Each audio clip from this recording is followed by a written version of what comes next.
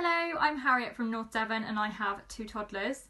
Um, as you can imagine, they are very messy and they do frequently spill things. I've lost count of the amount of times that they have spilt their drinks today. For me, discovering SPh2ONGE has been an absolute game changer. Um, before discovering SPh2ONGE, I was spending so much money on paper towel and kitchen roll because I'd be soaking up the spills and then just binning it.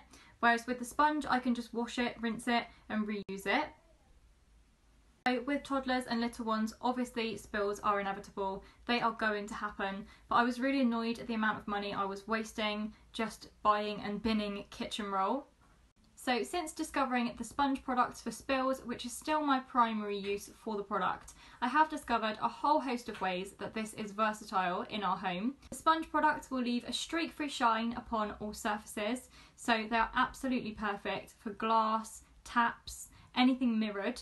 These are absolutely brilliant for a bathroom clean when you want to buff the taps up to a shine and soak up all the remaining liquid from your shower screen.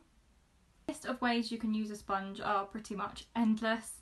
Um, one really, really brilliant winter hack for the sponge is to use it to soak up all the condensation off your windows and I absolutely love the sponge cloth for damp dusting. I also always keep a sponge to hand when I'm washing the dishes because I am a very messy washer-upper and I'm bound to flood the worktops so this is brilliant for soaking up any excess water.